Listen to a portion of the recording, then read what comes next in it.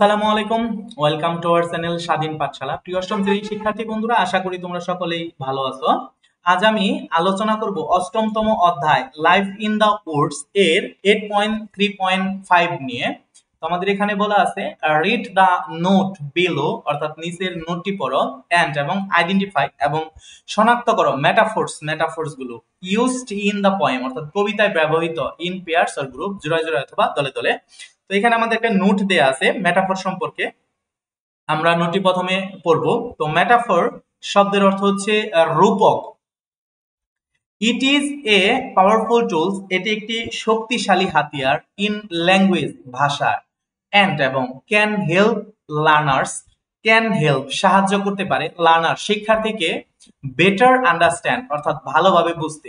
Complex idea জটিল জটিল ধারণাগুলো। অ্যান্ড এবং এক্সপ্রেস এবং প্রকাশ করে দেমসেলস তাদেরকে মোর ক্রিয়েটিভ ক্রিয়েটিভলি অত্যন্ত সৃজনশীলভাবে বা অধিক সৃজনশীলভাবে তাদের কাছে প্রকাশ করে।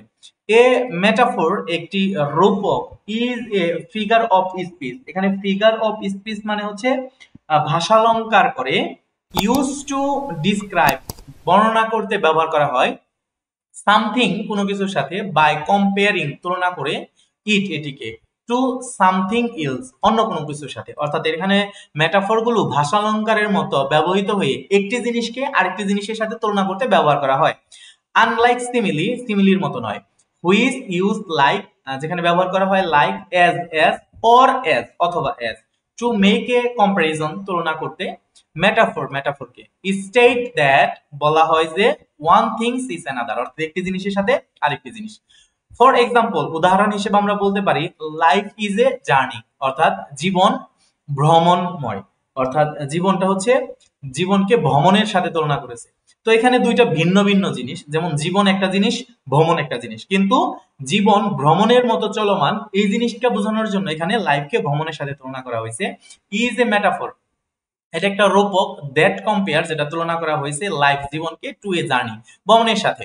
ইন মেটাফোর রূপকতায় উই কম্পেয়ার আমরা তুলনা করি দ্য টু থিংস দুটি জিনিসকে দ্যাট যা may not have anything in common অর্থাৎ যে দুটি জিনিসের মধ্যে সাধারণগত কোনো মিল নেই, ওই সমস্ত জিনিসের সাথে মেটাফোর তুলনা করে থাকে।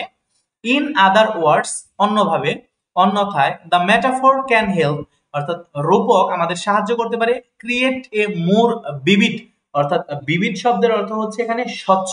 অর্থাৎ অধিক স্বচ্ছতা আমাদেরকে তৈরি করে অ্যান্ড এবং মিনিংফুল ইমেজ একটি অর্থপূর্ণ চিত্র ইন রিডার্স মাইন্ড অর্থাৎ পাঠকের মনে বাই কম্পেয়ারিং তুলনা করে। টু থিংস দুটি জিনিস that are not usually associate with each other যেটি সাধারণত পারস্পরিক সম্পর্কহীন। এমন দুটি জিনিসের সাথে তুলনা করা হয়। দিস কম্পারিজন এই তুলনা ক্যান হেল্প সাহায্য করে টু কনভে প্রদান করতে কমপ্লেক্স আইডিয়া জটিল ধারণাকে in a simple and interesting way অর্থাৎ সাধারণ এবং মজাদার করে।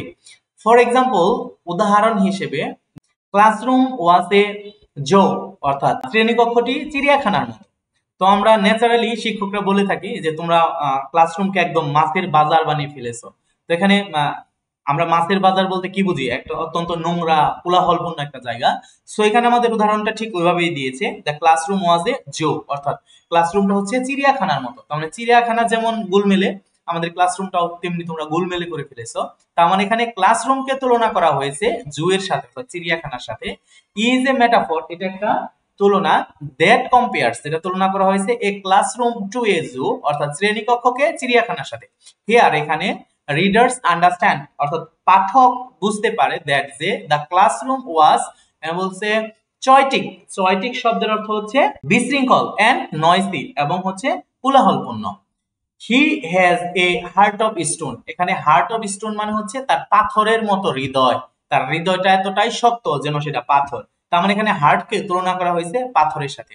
দিস মেটাফর এই metaphor compare someone's emotional state অর্থাৎ এই মেটাফরটি তুলনা করা হয়েছে কারও, অর্থাৎ মানসিক অবস্থার সাথে টু অ্যান ইনঅ্যানিমেট অবজেক্ট অর্থাৎ হচ্ছে ইনঅ্যানিমেট মানে হচ্ছে জড় পদার্থ আর অবজেক্ট মানে হচ্ছে বস্তু, তার মানে হচ্ছে জড় বস্তুর সাথে, অর্থাৎ তার মানসিক অবস্থাকে তুলনা করা হয়েছে জড় বস্তুর সাথে। ইট সাজেস্ট এটা পরামর্শ দেয় দ্যাট যে দে আর আনফিলিংস অর্থাৎ তারা হচ্ছে অনুভূতিহীন অর অথবা কোল্ড হার্টেড অর্থাৎ ঠান্ডা হৃদয়ের। She has a ray of sunshine on a cloudy day অর্থাৎ সে হচ্ছে একটি মেঘলাময় দিনে সূর্যের আলোর মতো। এখানে রে শব্দের অর্থ হচ্ছে রোশনি সানশাইন মানে সূর্যের আলো। তার মানে সূর্যের আলো রোশনির মতো ক্লাউডি ডে মেঘাচ্ছন্ন দিনে। অর্থাৎ সে হচ্ছে মেঘাচ্ছন্ন দিনে সূর্যের আলোর মতো। অর্থাৎ আমাদের জীবনটা অত্যন্ত অন্ধকার তখন তোমার জীবনে একটা বিলাপ্ট অর্থাৎ তোমার নায়িকা আসলো, তোমার জীবনটাকে আলোকিত করে দিল। মানে এখানে উদাহরণটা এমন দিয়েছে, অর্থাৎ তার আগমন যেন তোমার জীবনটা আলোকিত হয়ে গেছে। দিস মেটাফর এই মেটাফরটি কম্পেয়ার্স তুলনা করেছে সামওয়ান পার্সোনালিটি অর্থাৎ কারও ব্যক্তি, ব্যক্তিত্ব সম্পর্কে তুলনা করা হয়েছে to a sun sunny day অর্থাৎ রৌদ্রময় দিনের সাথে। অর্থাৎ যে কাউকে রৌদ্রময় দিনের সাথে তুলনা করা হয়েছে, অর্থাৎ সে এসে তোমার ক্লাউডি ডে অর্থাৎ মেঘাচ্ছন্ন দিনকে, অর্থাৎ তোমার দুঃখকে দূর করে দিয়েছে।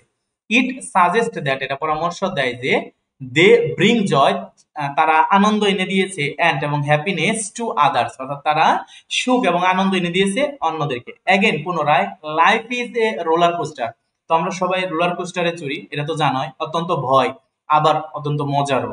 সো জীবন হচ্ছে রোলার কোস্টারের মতো, যেখানে ভয় এবং আনন্দ, উভয়টাই রয়েছে। দিস মেটাফোর কম্পেয়ার্স এই মেটাফোরটি তুলনা করা হয়েছে life to a roller coaster ride অর্থাৎ জীবনকে একটা রোলার কোস্টার রাইডের সাথে তুলনা করা হয়েছে। ইট সাজেস্টেড দ্যাট এটা পরামর্শ দেয় যে it has ups and down অর্থাৎ এখানে উত্থান পতন রয়েছে and can be both exciting অর্থাৎ এখানে আনন্দও রয়েছে এন্ড স্ক্রে এবং ভয়ঙ্কর। এই ছিল হচ্ছে আমাদের মেটাফর নোটটি প্রিয় শিক্ষার্থী বন্ধুরা, আশা করি তোমরা বুঝতে পেরেছ। এবং এখানে আমাদের প্রত্যেকটি মেটাফরগুলো তুলনা করে বোঝানো হয়েছে। যেমন এখানে লাইফ ইজ রোলার কোস্টার এটা একটা মেটাফর ছিল। তারপর she has a ray of sunshine on a cloudy day এটা একটা মেটাফর ছিল। She has a heart of stone এটা একটা মেটাফর ছিল। দ্য ক্লাসরুম ওয়াজ এ জো শ্রেণীকক্ষটি চিড়িয়াখানার মতো, এটা একটা মেটাফর ছিল। এই যে বিষয়গুলো, এখানে উদাহরণ দেওয়া আছে লাইফ ইজ জার্নি এই প্রত্যেকটা বাক্য ছিল আমাদের মেটাফর যা একটা বিষয়কে অন্য বিষয়ের সাথে তুলনা করা হয় এবং ওই বাক্যটাকে ওই বাক্যটাকে বা বিষয়টাকে বুঝতে আমাদের কাছে সহজ করে দেয় বা সহজভাবে আমাদের কাছে উপস্থাপন করে। এই ছিল হচ্ছে আমাদের পাঠ, প্রিয় শিক্ষার্থী বন্ধুরা। আজ আমি এখানে বিদায় নিচ্ছি। ধন্যবাদ সবাইকে। আসসালামু আলাইকুম।